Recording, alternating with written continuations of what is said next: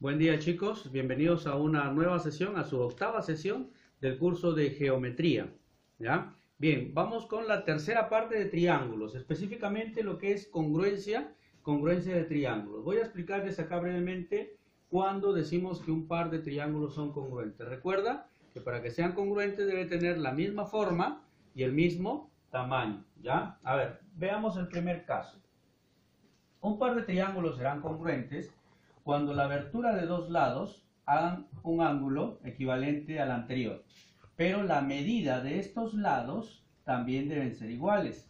¿ya? Por lo tanto, ocurriendo eso, se deduce que los triángulos son congruentes. Y a ese criterio o caso se le llama el caso lado, ángulo, lado. ¿No? De esa manera podemos decir que el triángulo ABC es congruente a PQ a PQR. Muy bien. Vayamos al siguiente caso. Observa acá. Hay un par de triángulos donde el lado BC y PNP tienen la misma medida. Y en los extremos el mismo ángulo alfa y teta. ¿Ve? Entonces, también se deduce que el triángulo, o perdón, el par de triángulos son congruentes. A ese criterio caso se le denomina el criterio ángulo, lado, ángulo. Ángulo, lado y ángulo. De esa manera podemos decir entonces que el triángulo ABC es congruente al triángulo MN, MNP. Y por último tenemos el tercer caso, eh, ya también conocido, ¿no? tenemos acá un par de triángulos donde el lado AB y XY tienen la misma medida, ¿sí? AC y XZ también, y por lo tanto BC y YZ también son iguales.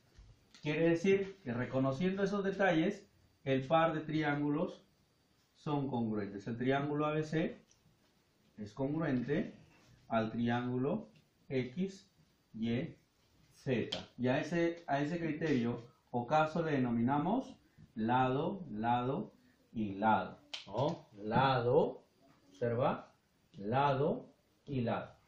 Muy bien.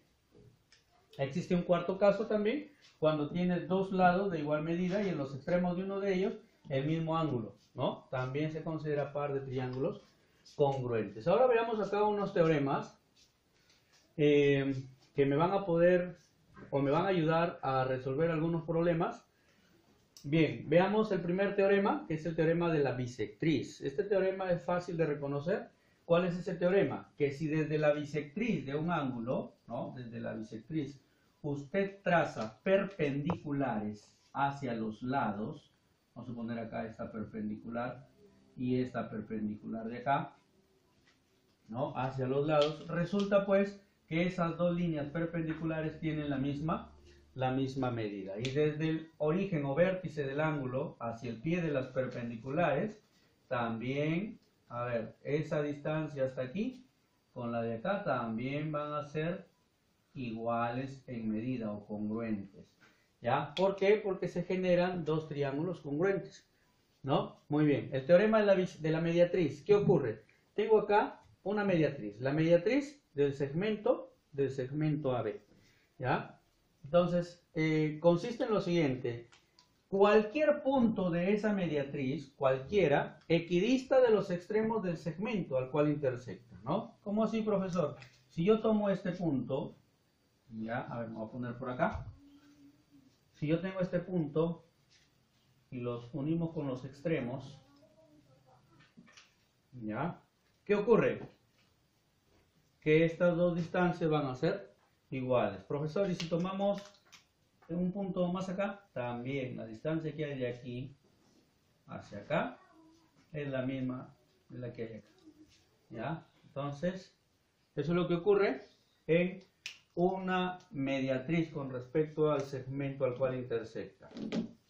Es más, aquí tenemos un triángulo isósceles, mira, ve, dos lados iguales, ¿no? Su base, y vendría a ser también, aparte de mediatriz, mediana, altura y bisectriz. Aquí hay dos ángulos iguales.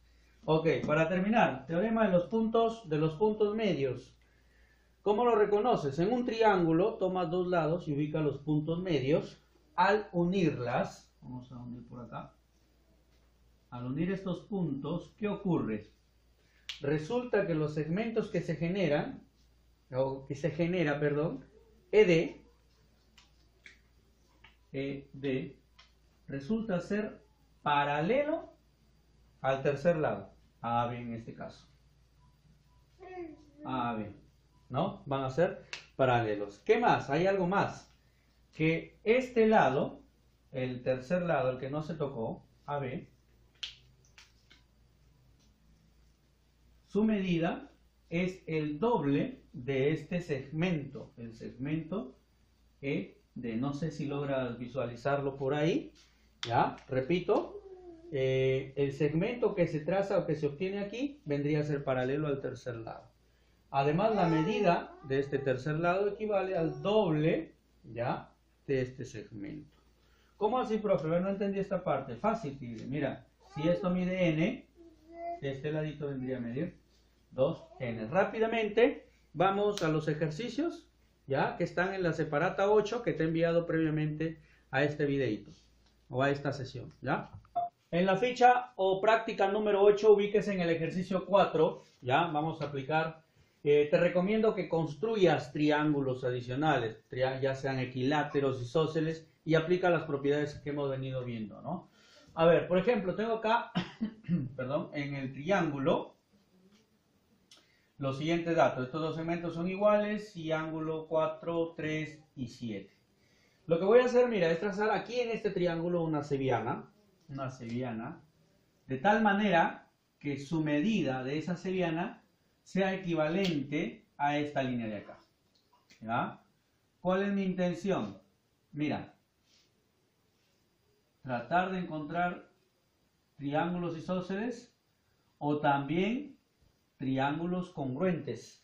Vamos a ponerle un nombre al triángulo. Vamos a ponerle A, B, C, D y E. ¿Ya? Observa, acá tengo un triángulo, un lado bolita y otro lado bloquecito. Acá, lado bolita, lado con bloquecito. Muy bien. Como la intención de esta sillana fue que sea equivalente a la de acá, aquí hay un triángulo isósceles. Por lo tanto, el ángulo que tenemos acá debe ser 7x. Lados iguales miran ángulos iguales. Y concéntrese en este triangulito, en este triangulito DS. ¿Qué está ocurriendo? 7x es su ángulo externo. Como esto es 4, ¿cuánto debe medir este ángulo? 3x, porque recuerda que es la suma de estos dos. ¿O no? Ahí está, 4 y 3, 7. Ya, a ver, ¿qué puede decir al respecto? En la figura, mira el triángulo ABD. ABD. Y ahora mire el triángulo DEC. ¿Qué está ocurriendo? Son triángulos congruentes. ¿Por qué son congruentes? Mira, lado bolita, ángulo 3X, lado bloquecito. Son congruentes bajo el criterio lado, ángulo, lado. Lado, ángulo, lado. Ah, ya, profesor. Entonces los demás elementos de esos triángulos tienen que ser iguales. Observa, el ángulo que mire el lado con bloquecito, el ángulo que mire el lado con bloquecito es 4x. Entonces, el ángulo que mire este lado con bloquecito también debe ser 4, 4x. Listo. ¿Se acabó? Entonces tendríamos en todo el triángulo ABC, resulta pues que la suma de los ángulos internos es igual a cuánto? A 180. 4x más 10x más 4x es igual a 180 grados. Tendríamos 18x y equivale 10, 10 grados. Esta vendría a ser la respuesta a nuestro ejercicio número 4. Vamos a problema número 6. Ubíquese en el ejercicio 6. A ver, tengo la siguiente figura con la siguiente condición. AB, ED suman 8. 8 unidades, ¿sí? A ver, 8 unidades. Bien, eh, AB no lo conozco, vamos a suponer que su medida es A, AB es A. ED tampoco lo conozco, que sería esto. Vamos a suponer que su medida es B, ¿sí? La medida de este lado es B. Bien, reemplazamos ahí, ¿no? Vamos a colocar acá, del dato, del dato que sabemos que AB, que es A, más ED, que es B, eso es igual a, a 8. ¿Ya?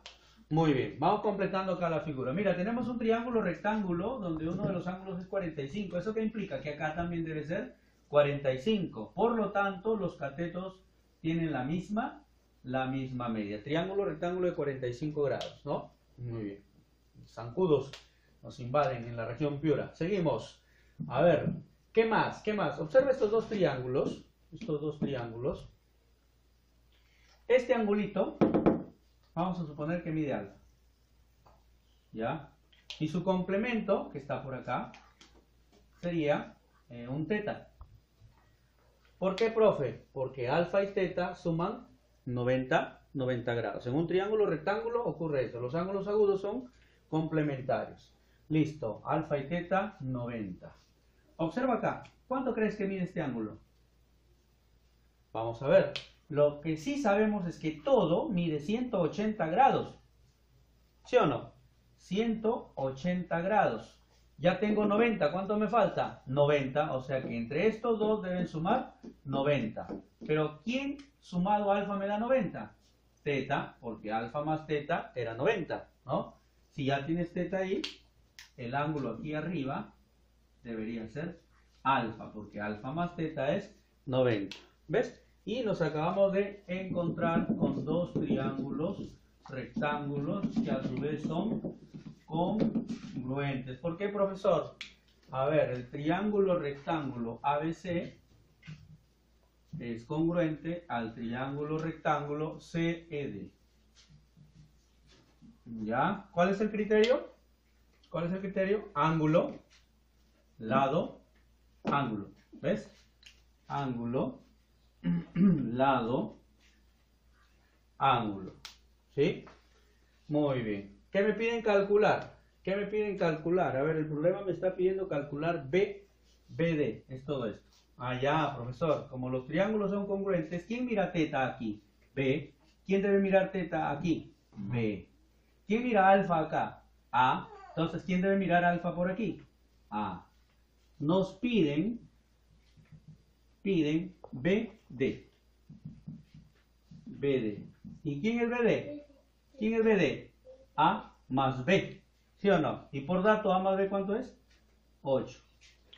Ya que esta pregunta te está entregando la respuesta. Esta vendría a ser la respuesta al problema número, número 6.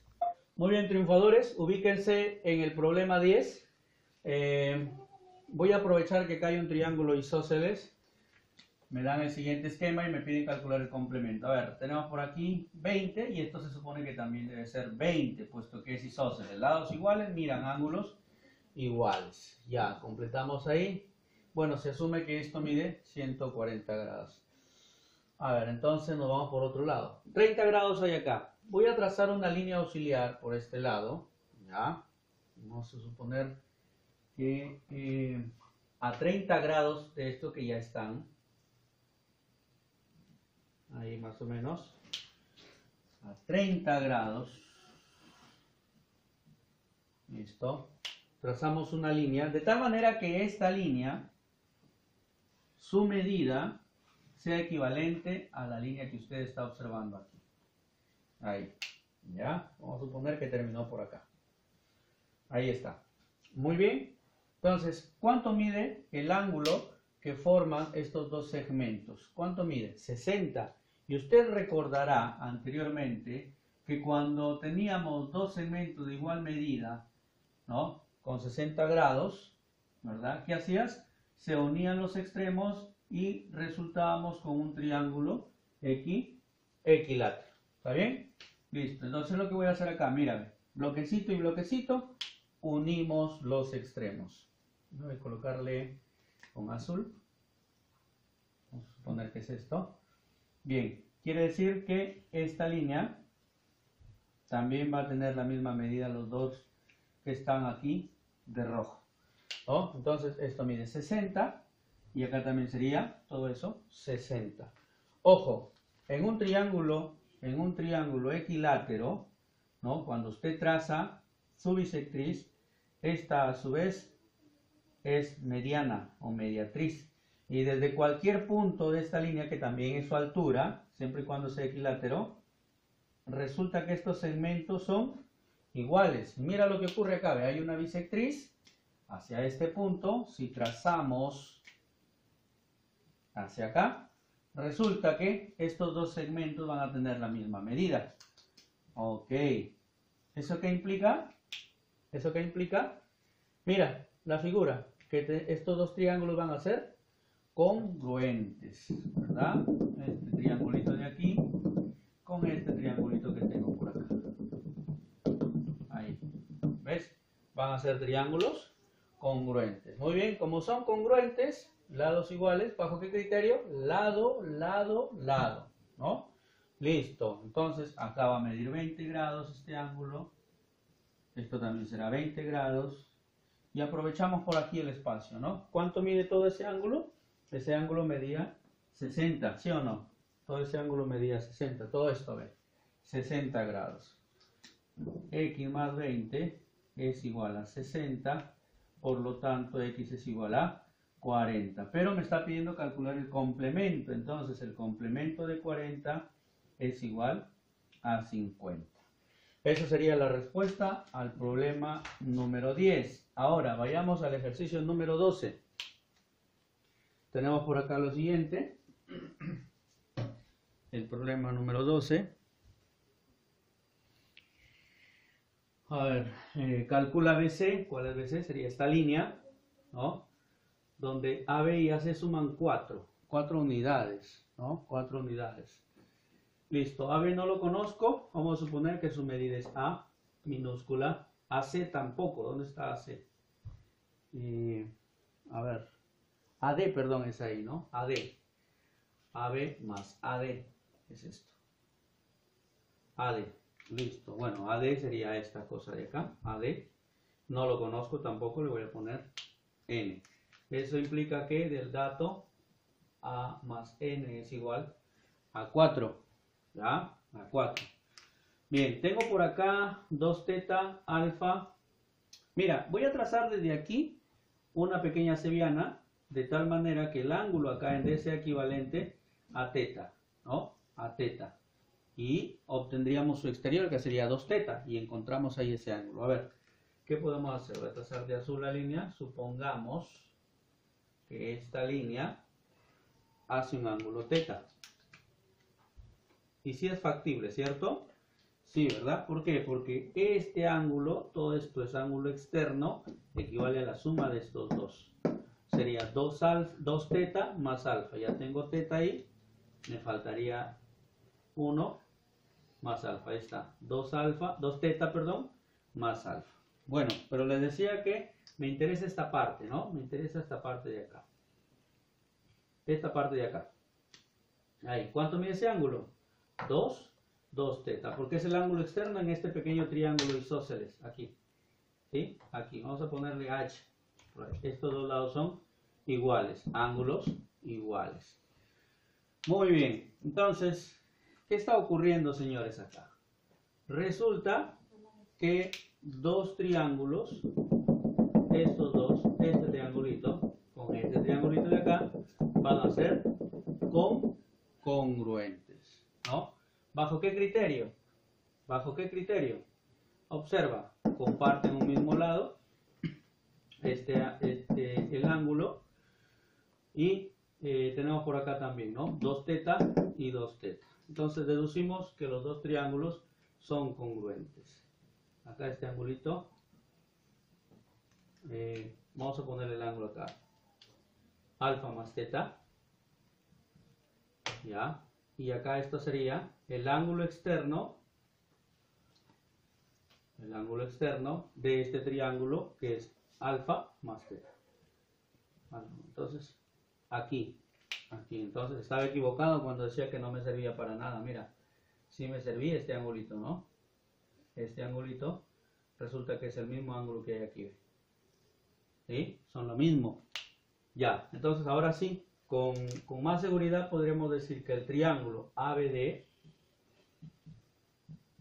es congruente al triángulo BDH.